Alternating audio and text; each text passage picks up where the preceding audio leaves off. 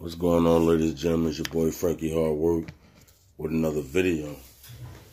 Yeah, no, this video is about Harvey Weinstein, lawyer, the only black lawyer that he had in this case. And um, about a couple of months ago, um, about a month or two ago, I made a video pretty much talking about Harvey Weinstein, lawyer, the only black one he had, because he had four lawyers. And um, one of them I just spoke about the other uh, about a week or two weeks ago when Harvey Weinstein had that case Friday that he tried to put on the wraps or whatever. So recently he had a case come up, I guess a couple days ago. They basically um, basically said they're gonna go forth with the case, with the rape case, and um, yeah, they're gonna go forward with the rape case pretty much, and they're going that case gonna be in September. But this particular story I'm about to talk about is not actually focused on that.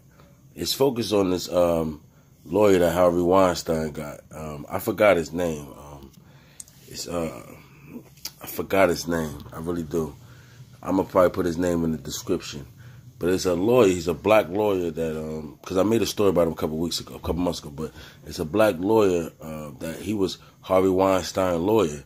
So a couple months ago, he was getting a lot of flack from me because he also is the head of the criminal department at Harvard University, and he was also the first black dean. So he was getting a lot of slack from the Me Too movement. They was coming up there, harassing him, doing a lot of stuff, spray, spray painting all over the buildings, this and that. Mind you, it's three other lawyers in this case.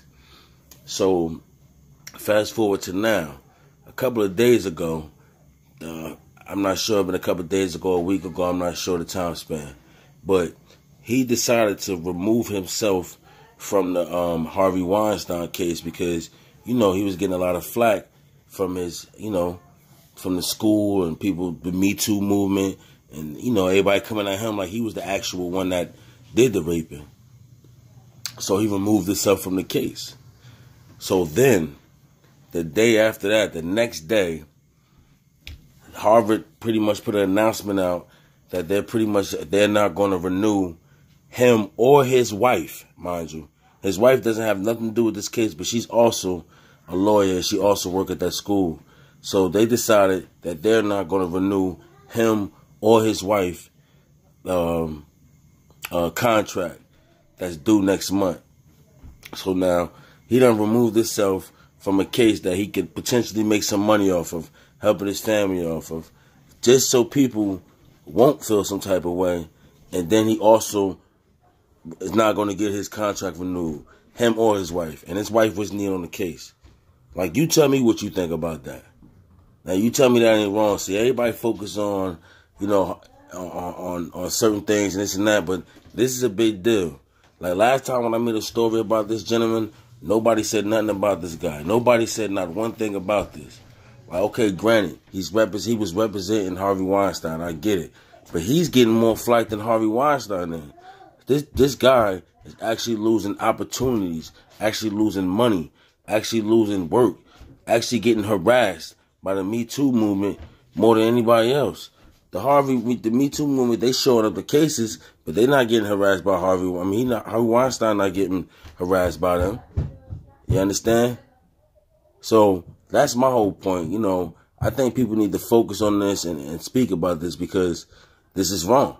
You understand? I understand, like I said, he's representing, he was representing Harvey Weinstein. But why should the only black person in this whole case that that was just doing his job, why should he get harassed? You know what I'm saying? And this is this is a way different from um, the Eric Holder case. This is not this have nothing to do with that. You understand? So I just want to know what you think about it, how you feel about it, because this is strikes me as odd, and I feel like this should be talked about. So um, like, comment, subscribe and you tell me how you feel about this. It's your boy Frankie Hard Work. Be easy.